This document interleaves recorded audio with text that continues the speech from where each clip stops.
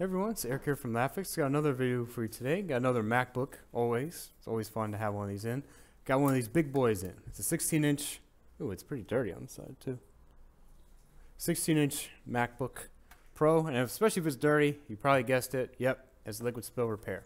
So this one actually, there uh, was some hairspray that got on uh, the MacBook itself there. Now it's not powering on. Who would have guessed, You're right? All right, that's why we're here. So let's take a look at it, see if there's anything obvious anything obvious damage. Uh, let's see what's going on. Uh, you could you could really smell it because it smells like a hairspray. So, kind of made me a little bit dizzy at the, at, the, at one point. Um, was taking a look at it for the first time too, but ooh, man, it's still gonna get pretty strong.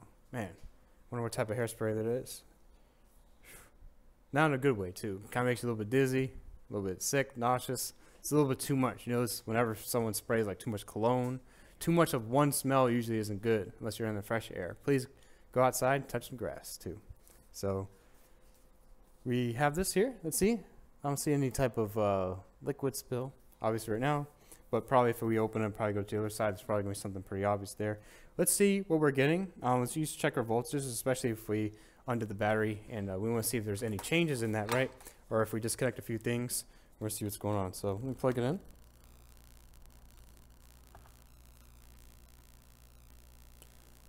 So if I go over here, plug it in, let's, uh, let's start again. Let's probably be a little bit better, huh?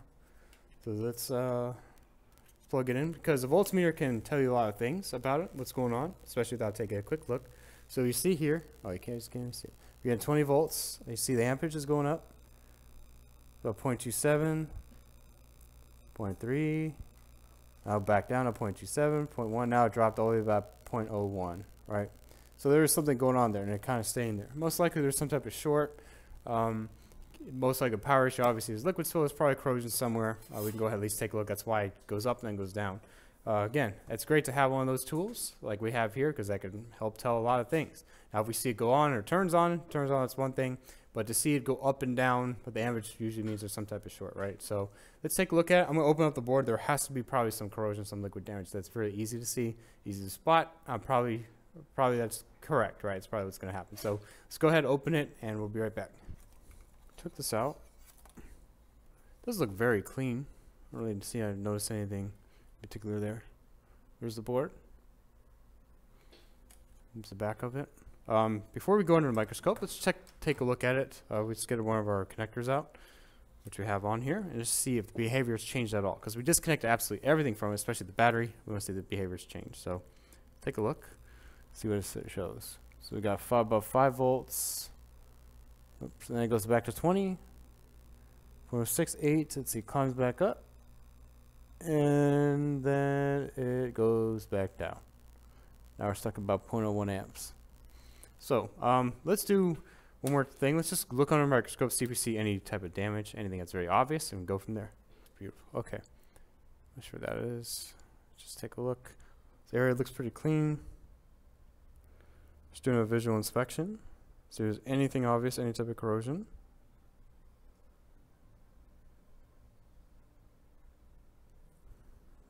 We have power areas.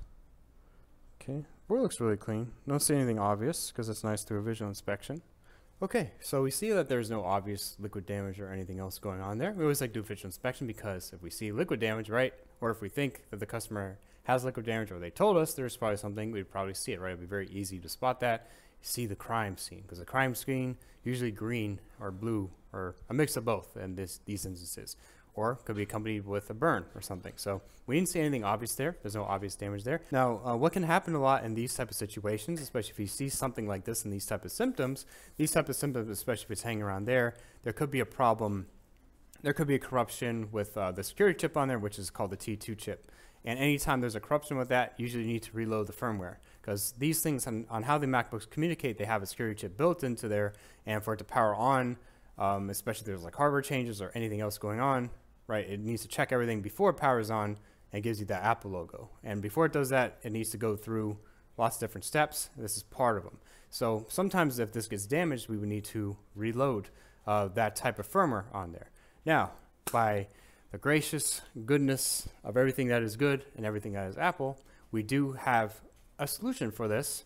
even though it's not the perfect solution and, it's not, um, even though it's not the perfect solution, it still does work. We see it work sometimes. We actually made a video on it previously there, and it's called DFU mode, and it's going to be doing exactly that, not that type of that, but it's going to be doing what you want it to do, right? Is to reload the firmware, and we're going to be attempting to do that. Now, there's a few steps. Uh, we made a video on this before, but this one's interesting because there's no damage, nothing else that we did. We actually did work on before. Usually there was damage from a liquid spill or something that causes this to happen, and now you're just kind of stuck in this loop. So, and again, because everything's soldered to the board here, everything's all one piece, right? It's one one piece to unify it all. So if there's any problem, you can always give a, another problem too. So we're gonna put it back enough, at least so we can get to, to come up, or at least at least connect everything back together so we can at least uh, allow our DFU mode to come up. So we'll put it back, and then we'll go into the process of doing the firmware restore. All right, so we have the Apple configurator open on our Mac, and we need to connect it, right? You can get this from the App Store. It's actually just an app that you download. Now you need a USB-C uh, cable here. And the most important thing for USB-C is you want like a Thunderbolt cable. Um, that's going to be giving you, uh, that's the most important thing is not just a USB-C cable, you want a Thunderbolt cable. And what we want to do is we want to plug it in a certain port here. On ours, this is a 1932. We want to plug it in the master port, which the master port is this one. It's the second one that's on the bottom. See that? Ooh.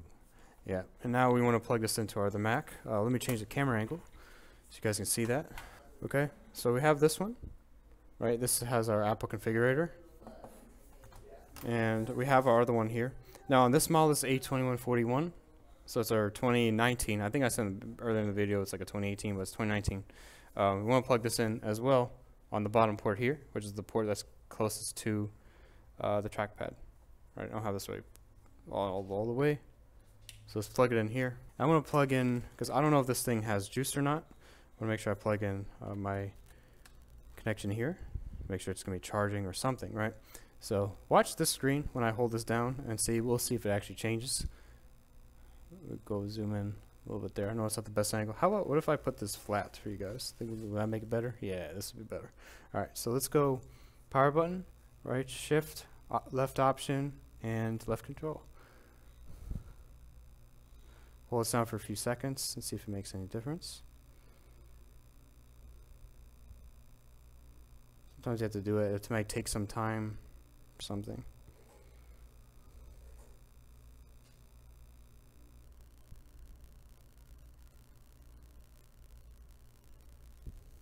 Me press the power button.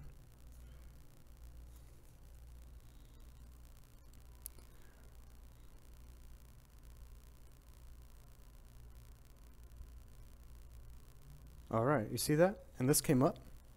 See the screen? And it's all tangled. It doesn't look too great. I'm sorry, guys. I'm trying to do this. I want to show all this one. Okay, so this came up. And I just want to right click it here.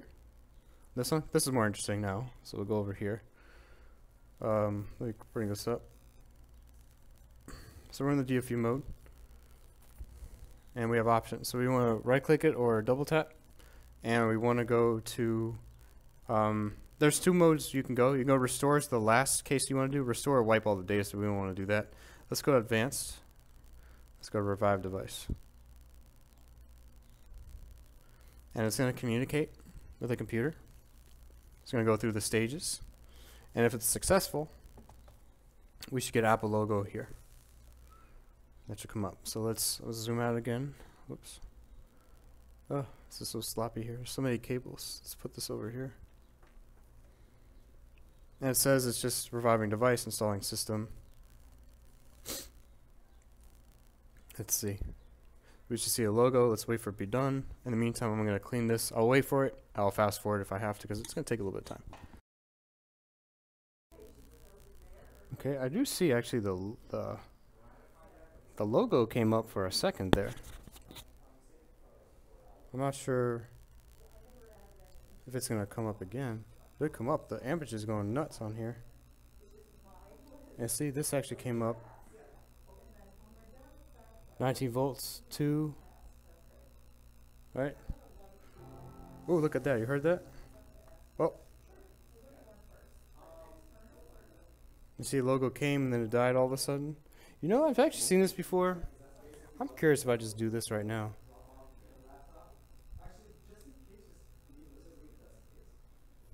I do something like that. Aha! You see that? Actually, I've seen this before because one of our last videos, um, it came in. So this looks like it's part of like a network or something. Um, I also, in the meantime, if you don't know what I did, I see the fans are spinning. I disconnected this. This is the um, open and close uh, sensor. Well, it's sleep and wake sensor. It's probably a better way. I just disconnected that as it was doing it, and you saw the backlight did come on. You know what's funny? Actually, taking a look at it, if I look really closely, if, let's bring this up here. You see this? This area looks to be a bit corroded on the top. I'm gonna go remove the screw. And let's go to the microscope with it. Okay, so we see, you can see this. This is corroded here. Um, so there was obviously liquid spill, and it did cause this problem. It did corrupt that little T2 area. Okay, so here it is. This is very corroded, you can tell. Um, for something like this, we can probably just do a replacement because obviously you can see the caps, everything looks pretty, pretty bad in there. The screw's still in there. See that? We would definitely want to do a replacement for that chip because obviously it's a cable. You don't want to just do that. So we'll get a replacement for that. It won't be a problem. But yeah, other than that, looks like the repair will be completed. You can see that there was actually a little bit of corrosion. Most likely that, that did cause uh, the issue for it as well. Um, so hope you guys are watching. If you did, please leave a like. It really does help us a lot. Subscribe for more content. See you guys in the next video. Thanks a lot. Take care, guys. Bye.